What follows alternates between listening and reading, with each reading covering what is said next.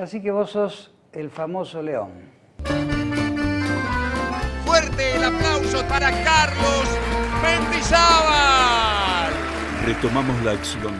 El espectador se va a encontrar con una película muy querible, que va a ser un- una pincelada muy sensible sobre los años 50, a través de un grupo de actores de radioteatro que iban pueblo por pueblo con su viejo ómnibus y transmitían cada día su capítulo en la radio, como fue el radioteatro argentino, ¿verdad? Tan distinto a, todo todas las telenovelas en el mundo. Acá se transmitía y se salía corriendo en el ómnibus a representar la obra de lunes a lunes, todo el año, y esa era su forma de vida, a la cual fue tan digno, fueron tan queridos por su público que nosotros pensamos, vamos a hacerle un reconocimiento. ¿no? Yo ubiqué en un contexto histórico mi película.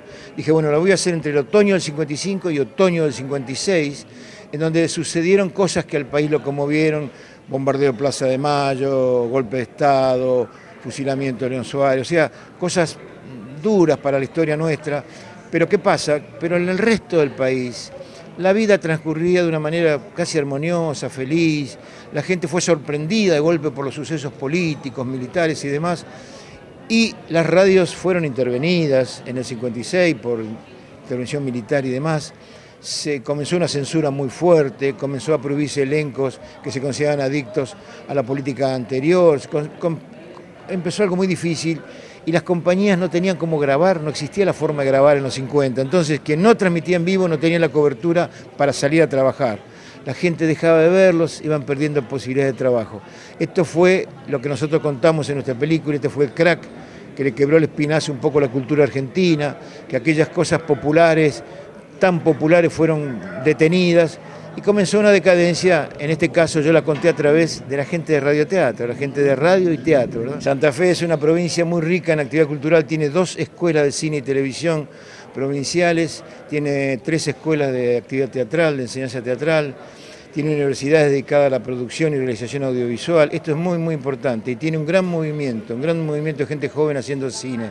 Tal vez no hace el cine o no hace esa producción audiovisual que abarca el contenido nacional, digamos, pero sí tiene una gran producción.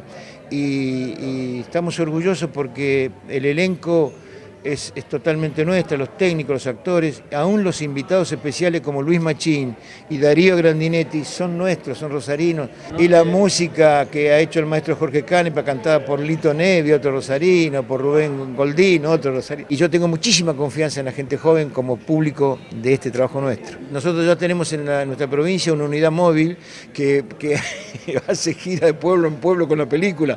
Va a comenzar una gira que va a durar por lo menos un año en 200 localidades. O sea, la película va y se representa con el apoyo de los intendentes y presidentes de comuna y de alguna manera la ve en verano al aire libre, en invierno en los clubes. en los- No, la película es, es, es radioteatrera también, o sea, va de pueblo en pueblo. Espérelo. Ya llega el león de Francia.